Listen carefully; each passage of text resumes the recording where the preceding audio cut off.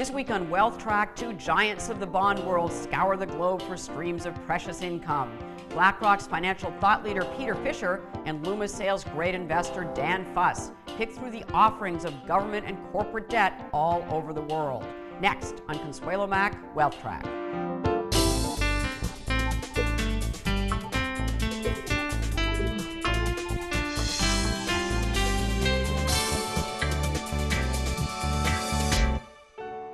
The company you keep is also the company we keep. Together, we help provide a lifetime of guaranteed income and investment solutions.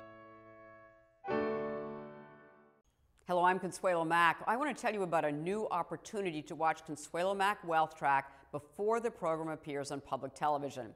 As a subscriber, you can see programs 48 hours in advance of the general public and also find timely interviews and commentaries exclusive to WealthTrack Premium subscribers.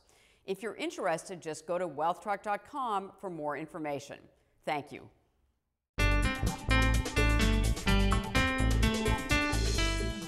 Hello and welcome to this edition of Wealth Track. I'm Consuelo Mack. One of the most notable market trends of 2011 was the much discussed risk on, risk off trade, where markets around the world moved in lockstep with each other.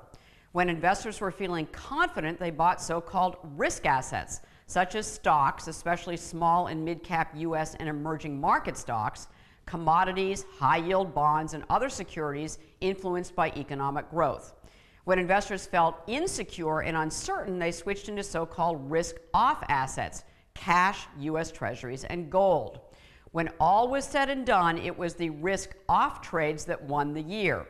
Whether or not the markets remain highly correlated again in 2012 remains to be seen. So far, the risk assets are ahead.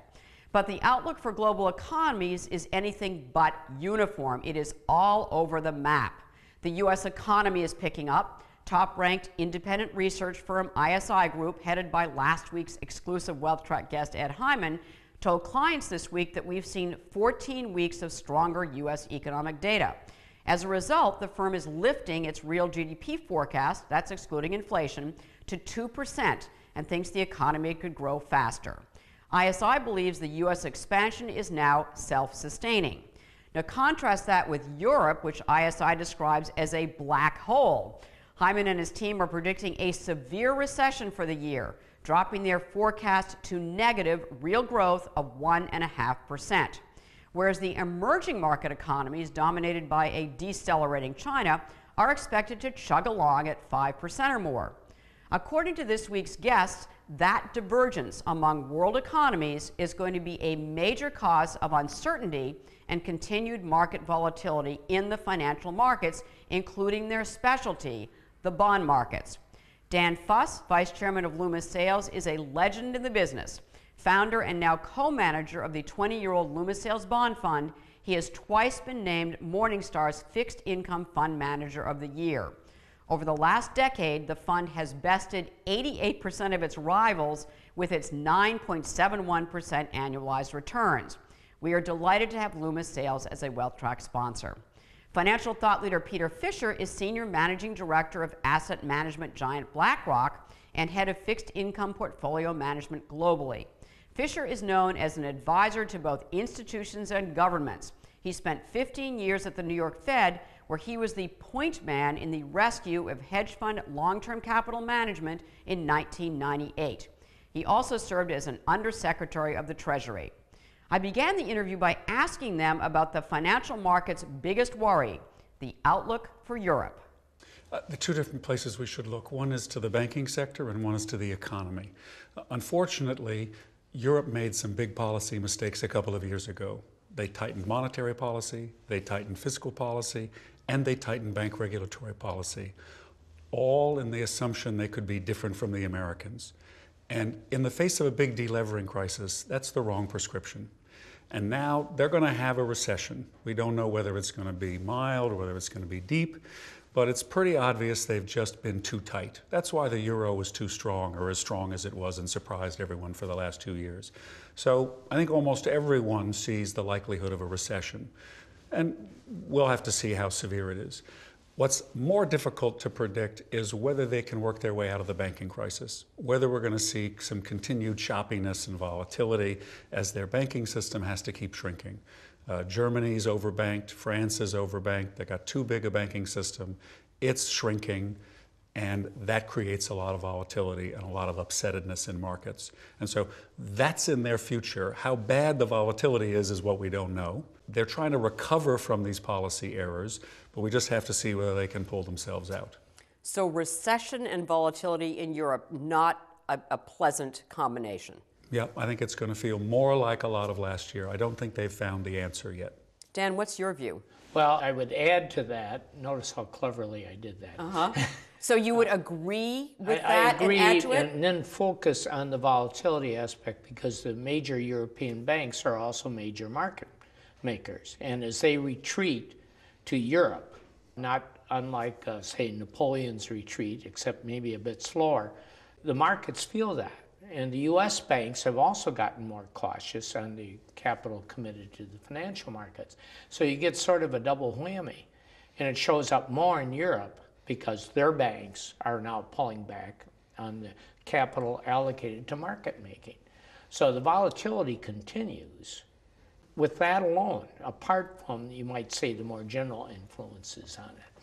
And I think that affects us. You as bond investors. Oh, yeah. Absolutely. Yeah, Right. because it's the bond side that really does tend to feel it, or at least maybe I'm more sensitive to it. But you need a, you need a dealer in between by and large. Whereas in the equity side, you have an auction market. The bond market is not an auction market. You own them or you don't. And uh, so that's the impact of Europe over and above uh, the situation in Europe itself. So, so for people who aren't familiar with how the bond markets work, so that means if, if the banks are withdrawing as market makers, right? So th- that means it's going to be harder to, to transact business, to do deals, to actually buy and sell bonds? Does it mean a less supply? I mean, what does that do for Not us as bond investors? Less supply, but it means the secondary market is far less efficient. And the lot size uh, traded in the cash market will be much smaller than it was, say, a few years ago. So why should I care about that as an, Well, if an you're buying or investor? selling a bond, it's going to move the price more more frequently at any given size. So people have to scale back the size of their bets. They've got to think more carefully about their exits. That's in part where volatility comes from, and then we try to respond for that by being on defense and thinking even harder about the size of our bets. I think that's what. So, so, so from an individual investor's point of view, you know, I mean, are, are, are there opportunities that, that the volatility and what's going on in Europe are presenting for, for mm. bond investors? Well, the tough one is whether you think yields of Italian bonds are at attractive levels. You know, that's the toughest call to make. Now, they were a lot higher than they are now. They've come in because the ECB has been buying and been financing now. They've announced their new financing program. So there is a question for investors, depending on your how strong your stomach lining is, as to whether you want to come in and buy some of these higher yielding sovereign bonds. And Do you, Peter Fisher at, at BlackRock, I mean, or do you as an individual want to buy the higher yielding sovereign bonds that are Well, pretty risky to me? Or I think Italy is in a different category than Greece and Portugal and maybe even Spain. The Italian government's been running a primary surplus, that is before considering their interest payments. I don't think the Italian economy is in a is in a terrible place. It hasn't grown much, but the Italian government's finances aren't anything like that of Portugal or Greece or Ireland. Right. And I think the market got a little overwound up about that. I think it's related to what I said earlier about the banking crisis in Europe and the delevering. The change came from the demand side. The big financial institutions didn't want to buy. They were too nervous. They're too busy shrinking. So the big challenge ahead for us right now, and it's probably a little risky to jump into these markets, is these governments are all going to be borrowing a lot in the first half of this year.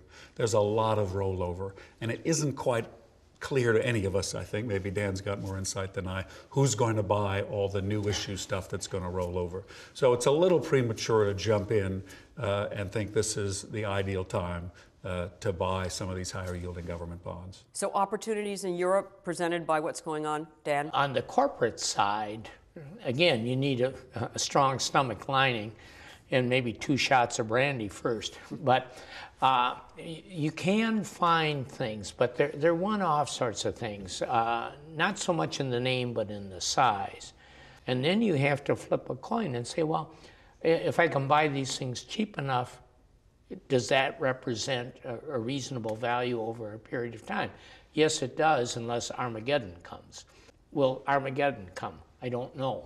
That's reassuring, right? Uh, you know, you get into the risk tolerance that people have, but you can't really quantify it to the same degree that you could, say, market share with a semiconductor manufacturer in North America. It's a different type of risk, so it's an unknown. It's every bit of political risk just as much as the government is.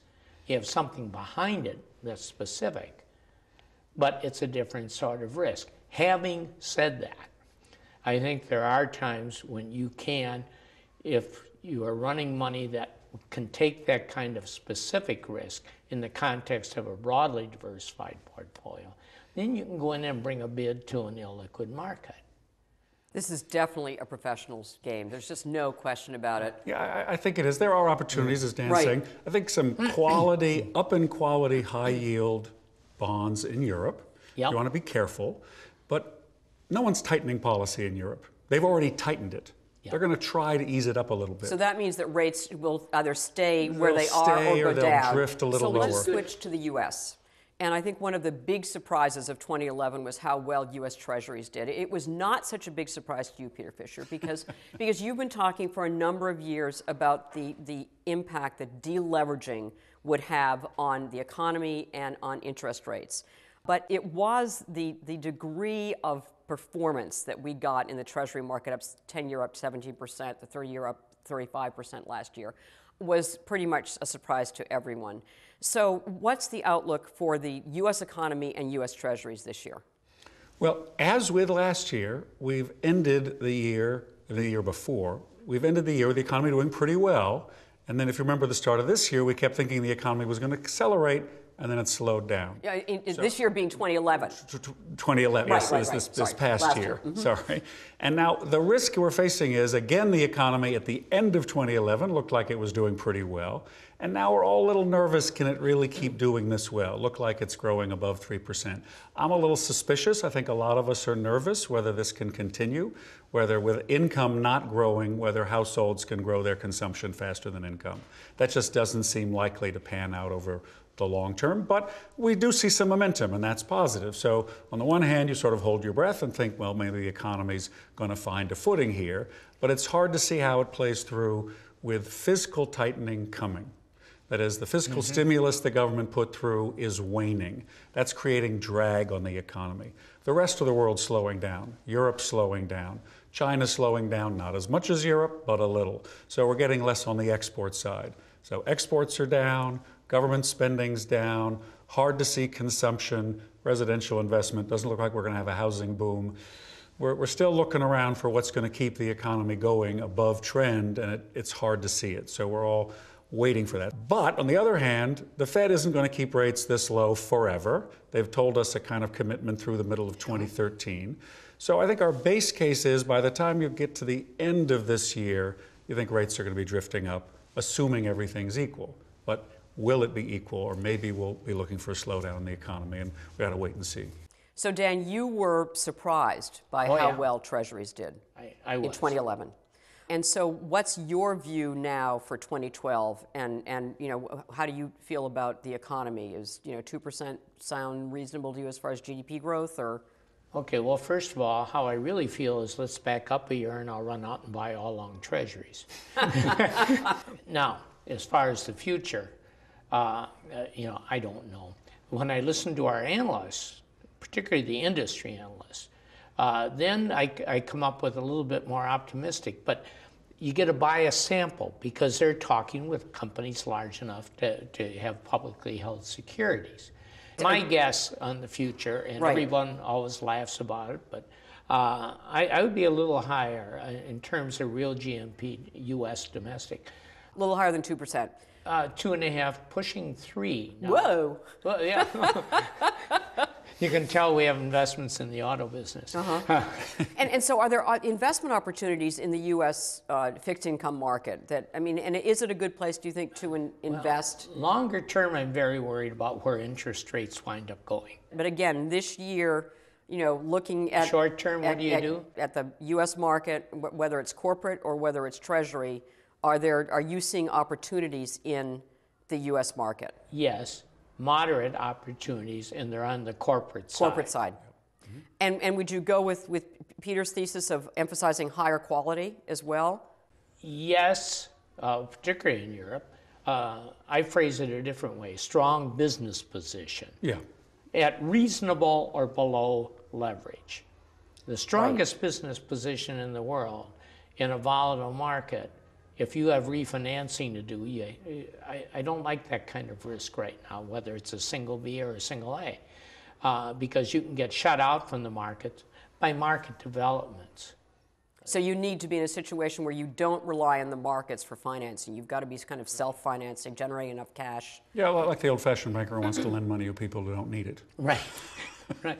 And going forward, the other thing I, w- I would put in here, right along that line, is I think we're entering into the early stage where market share in growing industries becomes very, very important. Because, boy, you just have to have lowest cost. So if you're number one, maybe a number two, depending on the market, uh, your quality rating will be single A or single B, uh, B being riskier, obviously. Uh, but if you, if you have that position, then you're probably okay in a, in a situation where all of a sudden money gets a little harder to get to. Now, I don't know whether we disagree or not, but I'd prefer to say I think inflation's coming later than you think. Mm-hmm. Median income's been falling in the United States for three years. It's really hard to see income rising quickly. It might, that would be the good news. But so the mm-hmm. pressure on inflation, Europe slowing down, China's going to do okay, but China's slowing down. The risk for the US economy still is, and I think the Fed's focused on this, is gee, maybe things get soft again and slow down. And you can see inflation in the short run looks like it's coming down now again. Real growth might pick up later in the year. That would be the good news. But inflation's coming later than you think. Whether it's coming from Europe in the banking crisis form or from the sell side shrinking, that's a big source of volatility we've got to be ready for this year. There's another, which is political uncertainty. There are presidential elections all over the world. Uh, France, Russia, Finland, Here. South Korea, here, a leadership change in China, Mexico we've got a lot of events that can come along and just slap the market in the face. And again, you got to be braced for that volatility from that source as well. Are there any areas of big discrepancies that you're seeing in the market that look particularly cheap? I mean, that are you know they're giving you value for your dollar. Well, uh, if you had season tickets for the Red Sox, Uh, exactly. The uh, nothing really extraordinary. My own view, and this is very selective and very specific within the group, the financial area. Uh, now, having said that, uh, I don't think people even inside the financial organizations necessarily know how to analyze them completely So you're talking about banks. banks and insurance companies. Now, there are a lot of moving variables in both those industries. They're probably among the most difficult to analyze as businesses uh, because there's a lot you don't know, and there might be some stuff that the, that the management itself couldn't possibly know because it re, you know depends on what happens in the future. But if you look at how these securities normally trade, then you can say, well, okay, they're a little bit wide, but when you get days, even now, even uh, today, uh, you can have a, a 30, 40, 50 basis points variation just depending on the activity of that day with small size relative to the norm. And, and when you're saying uh, so 30 to 50 basis points, a half a percentage point yield Well, differential between Yes. the the bid and the ask between o- No. or, Over the or- course of the day. is- Yeah, I mean, over the course. volatility. That's the The- short Oh, over run the course of the day, Right. no, which is That- huge in the bond market. Yes. Huge. oh, yeah. Yeah, I mean Oh, that's yeah. an, so that's the volatility you're talking about. Right. Right. the But then you're going to live with them.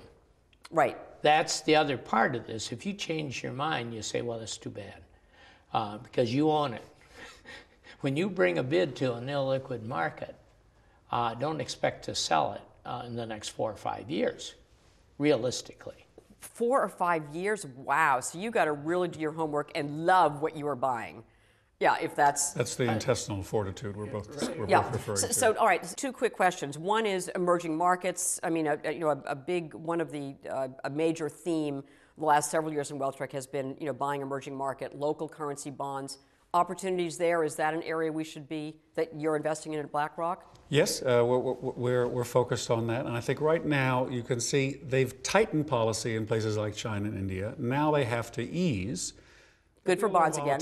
Ease, mon- and that's a pretty good time to come in and try to buy. Now, maybe it's more volatile and there's some jumpiness in the markets and the financial sector shrinks a bit, but it's a pretty good time for some of those markets to come by. Even if they're slowing down, that tells you policy is going to be easy to friendly Mm-hmm. and we're not going to face the backup. Again, you want to look for quality, especially in those markets. There are going to be some companies that don't make it as the economy slow down. They're used to very rapid growth when those companies don't have a business model that can sustain itself when growth slows down, you don't want to be owning those bonds. Oh, I agree with that. Emerging completely. markets, opportunities, But- but plenty of local opportunities. currency. You feel the same way, Dan? Uh, local currency, depending on the country. Right. Final question. One investment for a long term diversified portfolio. The last time, Peter Fisher, it was a Vanguard Treasury Bond Fund, which has done extremely well. So, I'll never what is it replicate- this year? I'll never replicate that. that, that suggestion, that, that was assure a you. winner.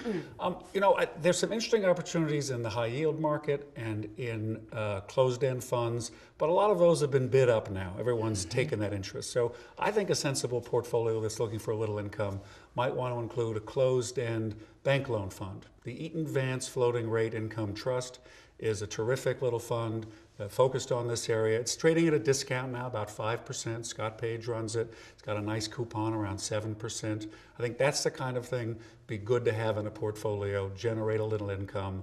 Uh, and if you're worried about rates backing up, that's the kind of product that would help you there, but trading at a discount now. Thank you. And, and our, our viewers do know that you're not allowed to recommend any of your own funds, uh, but you're all here because you represent terrific companies and terrific funds. Dan, one investment, long-term port- portfolio. The last time, as I said, was the New Zealand government bond. I am at the other extreme of risk for those with a speculative turn of mind. I would actually focus on either the largest, say, commercial bank in the US, Bank America type, or, and this is a, a higher level of uncertainty, a Goldman or Morgan Stanley. Because as I think through this whole process of deregulation and make some naive guesses, it seems to me that the two big brokers out there are, are going to probably get out, try to get out partially. They, they're too big, but they'll partially get out from under some of the banking constraints. And they'll be the two biggest market makers out there in uh, corporate securities, and that's, that's Goldman and Morgan Stanley. So, stock or bonds of, of those Well, in, uh, On the bond side, I'd be inclined to go for B of A bonds and Morgan Stanley bond at, at today's prices Right. and tr- today's values. Now you have the volatility factor. On the stock side, I, I I think Morgan Stanley, Goldman Sachs. Now, that is unusual for a bond person to say. I'm sure I'll, I'll be questioned unfriendly like when I get back to the office.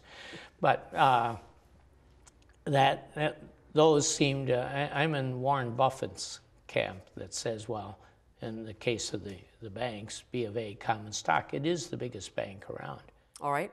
So we'll leave it there. You are known as a risk taker, and you've got a 20 year track record at the Loomis Sayles Bond Fund to prove how well that has played out over the last Most of the 20 time. years, Dan Fuss. So thank you so much for being here at WealthTrack. And Peter Fisher from BlackRock, thanks so much for joining us as well. Thank you.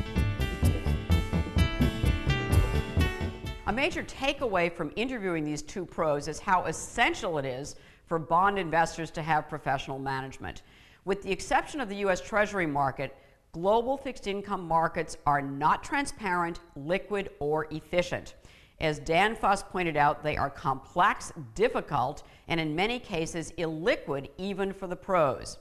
So this week's action point is if you are investing in anything other than U.S. Treasuries, invest with top bond fund managers with superb long term track records. And just as important, make sure their funds fit your personal tolerance for risk. On WealthTrack, we have had some of the best bond managers in the business as guests.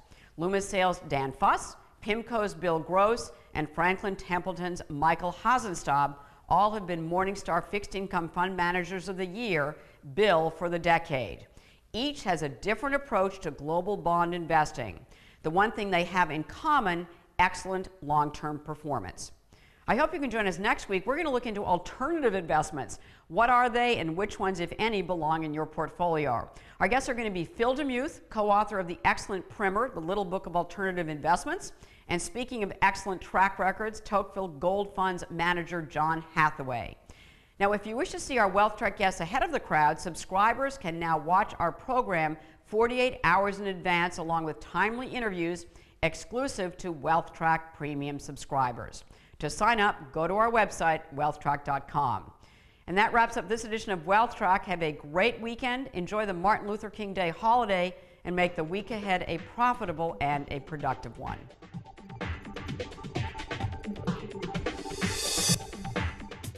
Additional funding provided by Loomis Sayles, investors seeking exceptional opportunities globally. Wintergreen, your home for global value. And Research Affiliates, an efficient index for an inefficient market.